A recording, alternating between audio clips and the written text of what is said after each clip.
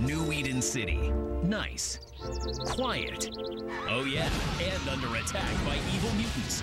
In a brand smashing new Nicktoons series, three ordinary teenagers are transformed by the Zevo compound, giving them metal power, ice power, and yeah, even hair power.